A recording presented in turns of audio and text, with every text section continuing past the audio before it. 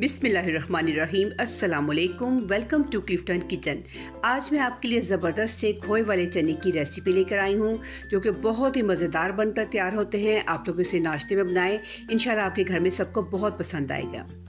इसके लिए मैंने सबसे पहले चार कप चने के लिए थे और एक कप मसूर की दाल ली थी और डेढ़ टीस्पून मैंने बेकिंग सोडा डालकर इसको मैंने रात भर भिगो दिया था और सुबह मैंने इसको मीठे सोडे के साथ ही बॉईल कर लिया था। देखिए, चने बहुत ही ज़्यादा नरम होने चाहिए, अच्छी तरह से गलने चाहिए, इस तरह से ये सॉफ्ट होने चाहिए। अब हम इसका मसाला तैयार कर लेते हैं। उसके लिए मैंने सबसे पहले हाफ़ कप ऑयल लिया है। ऑयल हम इसमें शामिल करेंगे। जब हल्का सा गर्म हो जाएगा तो हम इसमें चंद स्पाइसेस डालेंगे, जिसमें वन फोर टीस्पून मैंने जायफल जवत्री ली है। टीस्पून हल्दी पाउडर एक टीस्पून सौंफ का पाउडर और हाफ़ टी स्पून मैंने क्लौजी ली है। दो टेबलस्पून मैंने ज़ीरा लिया है, दो टेबलस्पून सूखा धनिया और दो टेबलस्पून नमक दिया है। ये तमाम चीज़ें हम इसमें शामिल कर देंगे।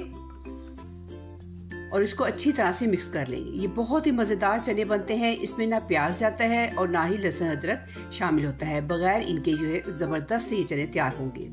मसाला हमारा भुन चुका है। अब हम जो है, इसमें हल्का सा स्वाद सा जो है, हम इसमें तकरीबन 12 अदद मैंने सब्ज़ मिर्चें ली हैं। इनको हमने पीस लेना है। ये भी हम इसमें शामिल कर देंगे और इसको भी हम अच्छी तरह से मिक्स कर लेंगे। साथ थोड़ा सा पानी भी डालती जाइएगा ताकि हमारा मसाला जल ना जाए।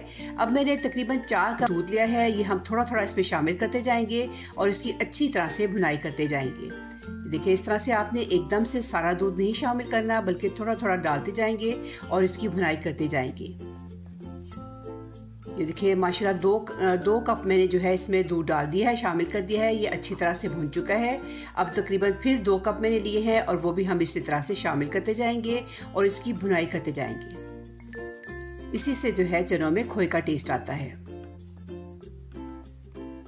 देखिए, इस तरह से आपने थोड़ा थोड़ा दूध डालते जाना है और इसको भूनते जाएँ। देखिए, मसाला हमारा ज़बरदस्त है, भुन चुका है ऑयल ऊपर आ चुका है। अब ऑयल जो है, हम बाहर निकाल लेंगे। और मैं फिर आपको बताऊँगी कि आपने कब कहाँ पर डालना है। ऑयल मैंने निकाल लिया है। अब हम इसको जो है मिक्स करके तमाम चने जो मैंने बॉईल किए थे, वो हम इसमें शामिल कर देंगे। और इसको अच्छी तरह से मिक्स कर लेंगे। और तकरीबन हाफ़ कप जो है, आपने इसमें पानी शामिल कर कर, इसके तकरीबन 10 मिनट तक इसको पका लेना है।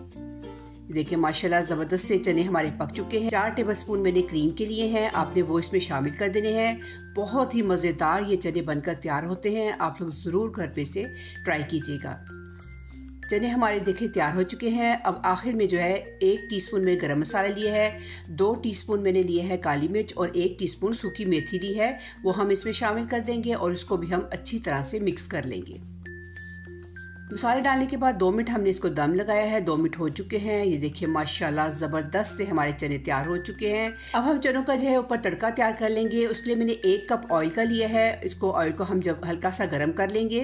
गर्म करने के बाद मैंने एक टी हल्दी ली है। इसमें हल्दी डालेंगे और उसको अच्छी तरह से मिक्स करेंगे। बस यही हमने इसके ऊपर डालना है। इससे बहुत ही खूबसूरत सा कलर जो है चनों के ऊपर आ जाता है। ये देखिए, चनों पर अब हम तड़का लगाएँगे, जो हमने हल्दी का और ऑयल का तैयार किया हुआ है। देखिए, माशाल्लाह, ज़बरदस्त सा जो है ये चने हमारे खोए वाले तैयार हो चुके हैं। ऑयल को इस तरह से आपने ऊपर ही इसके रहने देना है, हल्का सा मिक्स कर लें और मैं इसको डिश आउट करके दिखाती हूँ। देखिए, माशाल्लाह, ज़बरदस्त से हमारे खोए वाले चने तैयार हो चुके हैं। आप लोग इसे जो है सुबह नाश्ते में बनाएँ, इंशाल्लाह घर में सबको बहुत पसंद आएँगे। मैं इसको अंडों के साथ डेकोरेट करूँगी। आप लोग भी अंडे बॉईल करके इसके ऊपर रखें, इससे बहुत ही मज़ेदार इसके जायके में और इजाफा हो जाता है। देखिए, माशाल्लाह ज़बरदस्त से जो है हमारे चने तैयार हो चुके हैं। अब सब्ज़ मिर्चें लेंगे, उसको लंबाई में काट कर उससे हम इसको अच्छी तरह से डेकोरेट कर देंगे और इसकी देखिए खूबसूरती में और मज़ीद इजाफा हो गया है। माशाल्लाह, ज़बरदस्त से तैयार हो चुके हैं और आखिर में सिर्फ़ काली मिर्च जो है हम इसके ऊपर छिड़क देंगे और खोए वाले चने हमारे ज़बरदस्त से तैयार हो चुके हैं। आप लोग इसे सुबह नाश्ते में बनाएँ, इंशाल्लाह आपके घर में सबको बहुत पसंद आएँगे। अगर आपको मेरी रेसिपी पसंद आई है तो प्लीज़ लाइक कीजिएगा शेयर कीजिएगा और सब्सक्राइब कीजिएगा। इन नेक्स्ट वीडियो मुलाकात होगी। ओके, अल्लाह हाफिज़।